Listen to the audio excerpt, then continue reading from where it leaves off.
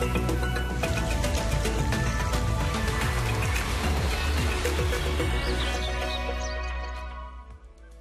Ma is lesz részünk csapadékban, kezdetben még több helyen akár tartós eső is, majd záporok, sőt egy-egy zivatar is megjelenhet. Jó reggelt kívánok az m nézőinek, Tóth Tamás vagyok. Már tegnap is tapasztaltunk csapadékot, dél felől érkezett, és ez egy picit észak-északnyugat felé tolódott el az elmúlt időszakban. Mivel azonban a nedves levegő itt lesz a Kárpát-medence közvetlen környezetében, így tehát az ilyenkor szokásosnál alacsonyabb maximum hőmérsékletre számíthatunk, és a Kárpát-medence és részben a Balkán-félsziget egyfajta hidegebb szigetként viselkedik a kontinens többi részén tapasztaltakhoz képest, hiszen bármerre indul, indulunk el ezen a térképen, láthatják, inkább csak magasabb napi maximum értékeket lehet tapasztalni.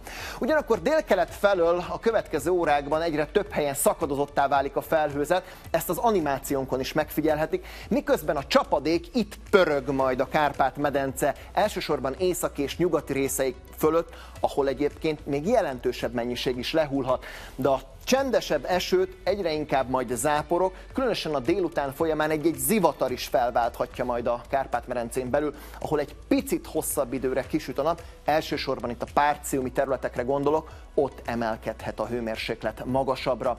Egyébként a felhőzet szakadozása a következő napokban ugyan folytatódik, de záporok, egy-egy zivatar a következő három nap során is megjelenhet. Majd csütörtökön a nap végén érkezik egy hidegfront, ami mögött feltámad az északnyugatira forduló szél, ez majd kiszárítja a levegőt, viszont láthatják, pénteken ismét jó néhány fokot visszaesik a hőmérséklet, és szombaton hajnalban néhol már gyenge fagy is lehet az ország területén. És hogyha már csapadékkal indítottunk, akkor az időjárás jelentést is zárjuk ezzel. A mai érdekesség a csapadékmérés körül összpontosul. Ilyen egy hivatalos mérőeszköz az Országos Meteorológiai Szolgálat mérőhálózatában, ezt úgynevezett Hellman típusú kettős falu csapadékmérőnek hívjuk. Egyébként idő szerint nem sokára Magyarországon több mint 450 észlelő el is végzi a hivatalos napi csapadékmérést. Mindjárt meg is mutatom ennek a belsejét. Így néz ki, tehát nem hiába mondjuk, hogy kettős falu a csapadékmérő. Ez az a bizonyos gyűjtőedény, amiben, hogyha belehull a csapadék, akkor ezt kiemelve a mérőeszközből szépen pontosan meg lehet határozni a méréseket, és elő is veszem még azt a fontos kelléket, ami mindennek még a része, méghozzá az a bizonyos üveghenger, amit itt láthatnak a kezembe, ebbe tölti bele az észlelő a csapadékösszeget, és ebből meg lehet határozni a pontos mennyiséget is.